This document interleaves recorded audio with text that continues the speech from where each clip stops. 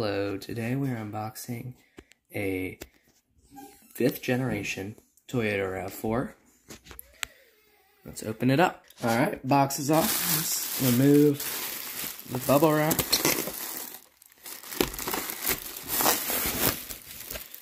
Alright, so let's get this off. Alright, so here we have the box. Toyota RAV4, and there it is. Let's open it up. Alright, out of the box now. I'm gonna take this part off. Alright, got it up. Let's take it out. Looks like it comes with a little door opener here, which is neat. Let's take a look at this. First, I'm going to remove all the little tape pieces. This car has a couple cool features. So the wheels turn, the mirrors fold, oops, and the sunroof opens. You can see the gear selector and the cup holders in there.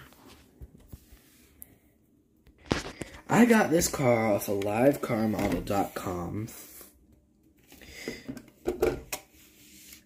It, I would not necessarily recommend this car because I could just be the one I got, but when it came, the tail lights were falling off, and I had to place the seat back in because the seat had was not there.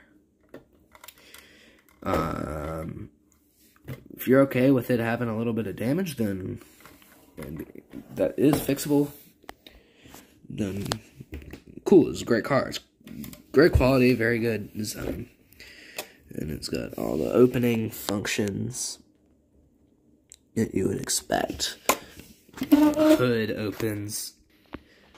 It has the very good angle that's realistic versus some of my other cars, like this Jeep, where you can see the hinges are there, but when you open it up, they do not line up. So that's one thing I think looks neat about this. Is it's pretty realistic when it comes to that. So you can go back on the shelf. Alright, back to the RAV4. You see, back doors open as well.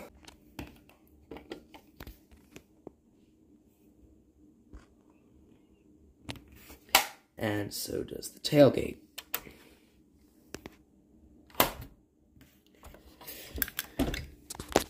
Same story over here.